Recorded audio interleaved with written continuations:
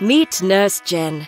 Nurse Jen helps people who have atypical hemolytic uremic syndrome. That's a lot of words, so people like Nurse Jen call it AHUS for short.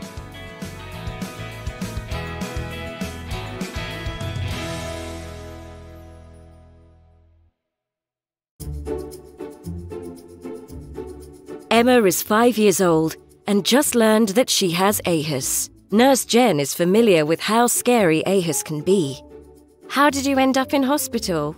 A couple of weeks ago, I got a cold, and it felt like all my other colds.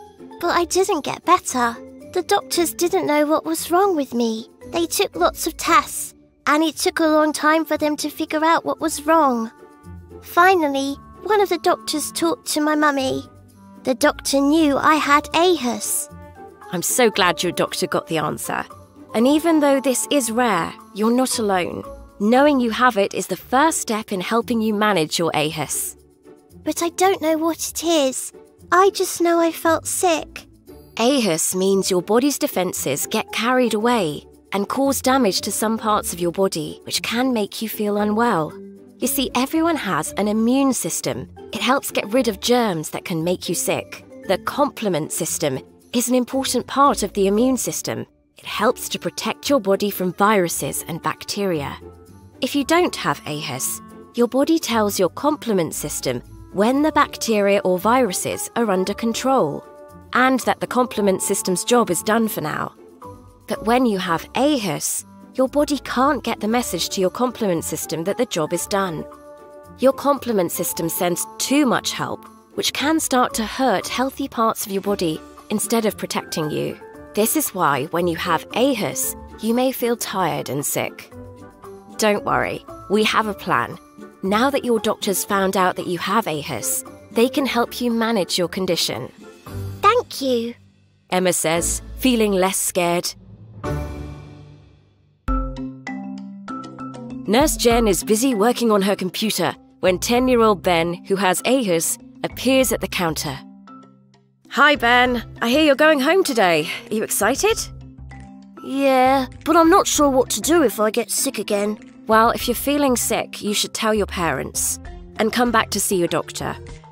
But wouldn't it be better if I just stayed here and had doctors and nurses around me all the time? Hospitals are for people who need help all through the day. Some people with AHUS have to stay in the hospital longer, but in your case, doctors don't have to watch you every minute. You can go back to school and play with your friends. Your doctors have made a plan to help you with your AHUS, and we'll see you in clinic regularly. Remember, it's not just you who has to manage your AHUS. Your parents, your doctor, and I are here to help you. Ben feels a lot better as he takes in everything that Nurse Jen just said. Thank you, Nurse Jen. Bye. Nicole is 14 years old and has been living with AHUS for a few years now. Over time, she's learned a lot about AHUS and what living with it is like. Nicole has to visit the hospital regularly for checkups and treatment. Nurse Jen asks Nicole what it's like getting treatment. I used to get nervous, but now I don't mind getting treatment. I just sit and read a book, watch some TV on my tablet, or snuggle under a blanket and just relax. Plus, my mum doesn't make me do homework when I'm getting my treatment. Nurse Jen is very proud that Nicole is doing all she can to stay on top of her AHUS. It's a big step to go from being diagnosed to making AHUS just another part of your life. How's everything else going? For Nicole, balancing her AHUS and school has been a struggle. I'm thinking of trying out for the school musical, but is it okay to do all that while having AHUS? There are lots of activities people with AHUS can enjoy, and your friends will understand if you may have to sit one or two things out. Just keep up with what you're doing and stick to your treatment plan. If you're not sure, just check with your doctor. She'll know best if something is okay for you to do. AHUS is part of your life, but it doesn't always have to be the focus of it. I'm sure we'll see you shining on that stage. Nicole gives Nurse Jen a big smile. She is confident about managing her AHUS, and Nurse Jen has made her feel even better about the future.